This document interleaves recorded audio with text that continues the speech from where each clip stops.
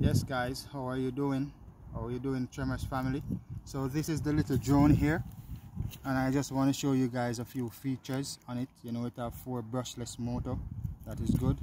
And it have the like the crash guards and stuff you know these are very easy to use. You can just pull these little two little claws out and just pull it out then you push it back in and then fold the little, the little two little claws back inside here and what I want to show you guys you know it have a nice little battery pack here at the rear end.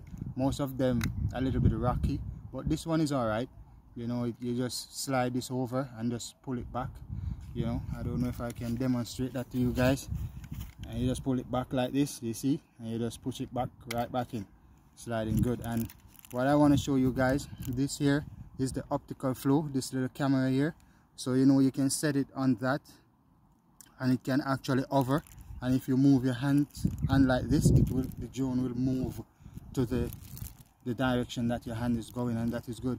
But what you guys should remember the optical flow only lasts for about 10 feet in the sky. So over 10 feet you know that you lose the optical flow. And the optical flow actually balance the aircraft you know like give it a, a steadier landing and stuff.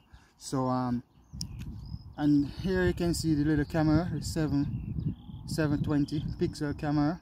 Um, yesterday I was testing it testing it out and the camera didn't give me the, the proper imagery that I that I was looking for. I don't know if it was the sun clear and stuff like that was in the sky so I hope that um, the camera will give me a better um, view this time of the beautiful country that we are in so yes guys i'm gonna try uh power this up and see if i can um,